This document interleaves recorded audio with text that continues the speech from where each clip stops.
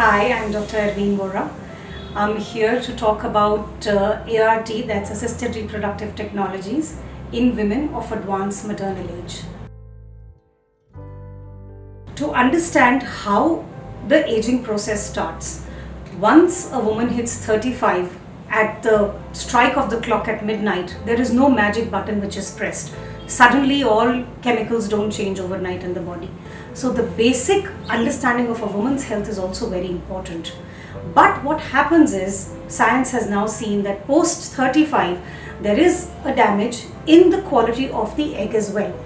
The spindle, the technical issues with the meiotic spindles, with the chromosomal abnormalities, with the granulocyte theca cell function will all cause the egg to become less competent.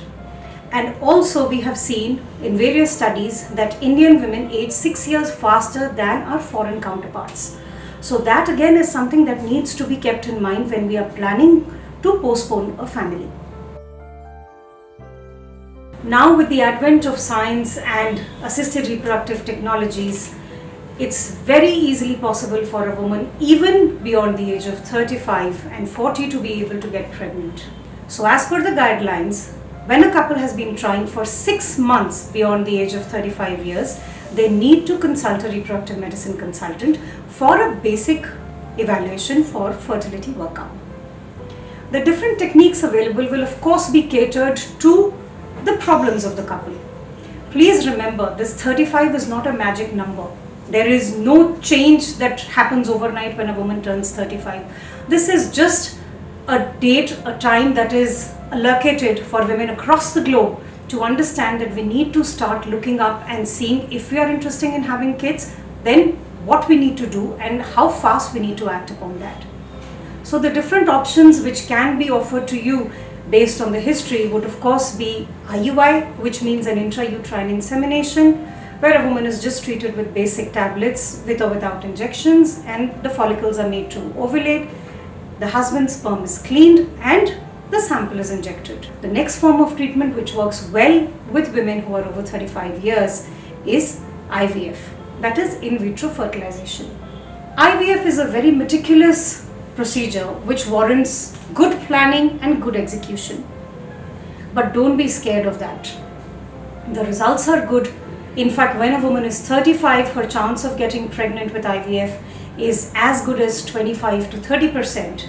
However, as age advances, by the time a woman is 40, these chances go down to about 10 15%. And when a woman is around 44 45 years, it becomes almost difficult to get pregnant naturally or with IVF also. The success rates go down to as low as 1 to 2%. ART, like any other procedure, comes with its do's and don'ts, the goods and the bads. Of course, when you speak to your doctor, have adequate counseling, get adequate information both from the doctor, from the support groups which are there to help you out, and understand what can go wrong so that you're potentially prepared for those things. With the treatment per se, there is a possibility that if the number of oocytes is less, the doctor may choose to cancel the cycle for financial reasons. There is also a possibility that the quality of embryos may not be good and you may require to undergo multiple cycles of IVF. Not just IVF, the problems may persist beyond IVF when you get pregnant. And that's where the importance of good lifestyle comes into play.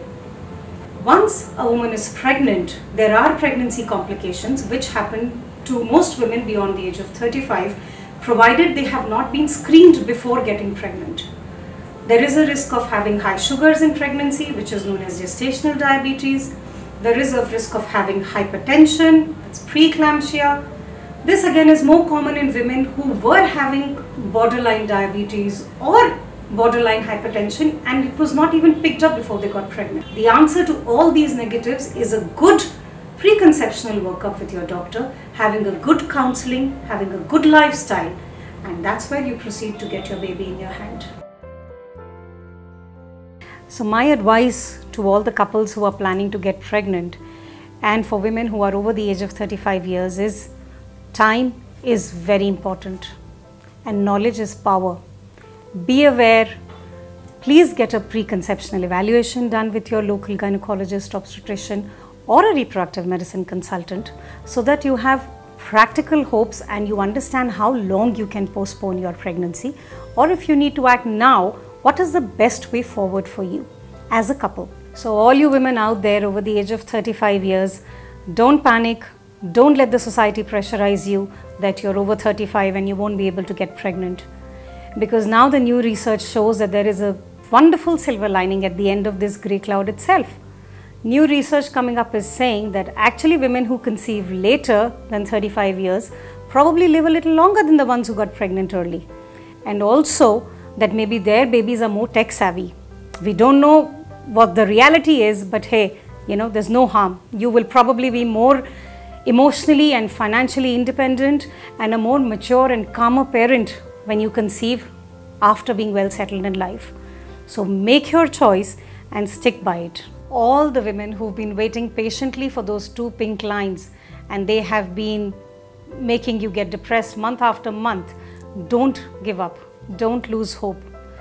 Please step out, meet a fertility consultant, meet a fertility expert, and I'm sure there are multiple ways with the advents in science and technology where you will see those two pink lines in your house and you will celebrate shortly.